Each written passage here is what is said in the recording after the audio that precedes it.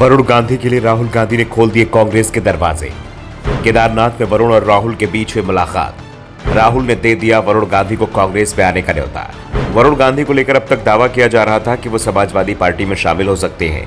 वरुण की डिंपल यादव से कई बार इसे लेकर मुलाकात हो चुकी थी। सपा अध्यक्ष अखिलेश यादव ने भी वरुण को सपा में शामिल करने के लिए हरी झंडी दे दी थी। उन्हें पीलीभीत सीट से सपा उम्मीदवार बनाए जाने का ऐलान भले ही न किया गया था, लेकिन पीलीभीत के सपा नेताओं को मैसेज दे दिया गया था कि वरुण ही सपा के उम्मीदवार होंगे। और इसका असर भी दिखाई दे रहा था। वरुण की सभा में सपा के कार्यकर्ता भी बढ़ चढ़कर हिस्सा ले रहे थे। लेकिन अब वरुण गांधी को लेकर खबर आ रही है कि वो सपा नहीं, बल्कि कांग्रेस में शामिल हो रहे हैं। और अपने इस प्लान को लेकर उन्होंने सपा नेताओं को सब कुछ बता दिया है। दरअसल जो खबरें आ रही हैं, उसमें दावा किया जा रहा है कि राहुल गांधी तीन दिन की केदारनाथ यात्रा पर थे। अंतिम दिन उन्होंने बाबा केदारनाथ का अभिषेक किया और इसके बाद वो दिल्ली लौट गए। लेकिन दिल्ली वापसी से पहले राहुल गांधी ने अपने भाई वरुण गांधी से मुलाकात की है। राहुल और वरुण की मुलाकात की खबरों से सियासी गलियारों में सनसनी फैल गई है। दरअसल, इससे पहले जब राहुल गांधी से इस साल की शुरुआत में भारत जोड़ो यात्रा के दौरान सवाल किया गया था, क्या वरुण गांधी को कांग्रेस में शामिल करेंगे तो राहुल गांधी ने वरुण को कांग्रेस में लेने से साफ़ इनकार कर दिया था। राहुल ने कहा था कि वरुण गांधी की विचारधारा संघ की विचारधारा है, इसलिए उनसे गले मिल सकता हूँ, लेकिन वरुण को कांग्रेस में जगह नहीं दी जाएगी। लेकिन वरुण की ज़रूरत कांग्रेस को है।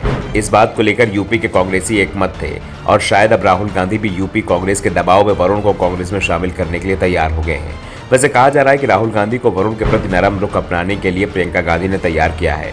प्रियंका गांधी और वरुण के बीच काफ़ी अच्छे संबंध है और कहा जाता है कि वरुण सबसे ज़्यादा बात प्रियंका गांधी से ही करते हैं। और प्रियंका गांधी ने ही वरुण गांधी के लिए कांग्रेस का दरवाज़ा खुलवाया है। और अब केदारनाथ में राहुल गांधी और वरुण गांधी के बीच हुई मुलाकातों खबरें से भी साफ़ हो गया है कि राहुल गांधी ने भी वरुण गांधी को कांग्रेस में शामिल किए जाने को लेकर हरी झंडी दे दी है।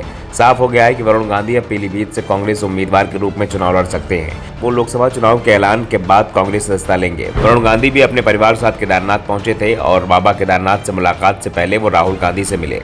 इस बीच वरुण गांधी के डिम्पल यादव के साथ मुलाकात की खबरें हैं, जो बता रही हैं कि उन्होंने सपा चीफ अखिलेश यादव तक भी मैसेज पहुँचा दिया है कि वो अब सपा की जगह कांग्रेस में शामिल होने की तैयारी कर चुके हैं। दरअसल, वरुण गांधी को सपा चीफ के साथ की भी ज़रूरत है। उन्हें एहसास है कि इस समय बीजेपी को अकेले नहीं रोक सकते और अगर वरुण गांधी कांग्रेस में शामिल होते हैं तो इससे सपा चीफ अखिलेश यादव नाराज़ भी हो सकते हैं। जो वरुण को सपा में शामिल किए जाने की पूरी तैयारी कर चुके थे, और इसी के चलते वरुण गांधी ने डिम्पल से मुलाकात की और कहा जा रहा है कि अखिलेश यादव ने भी वरुण गांधी के फैसले सहमति जताई है।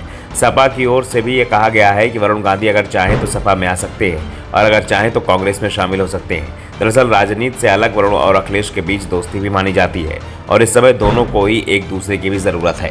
ब्यूरो रिपोर्ट दनोदर्पण न्यूज़।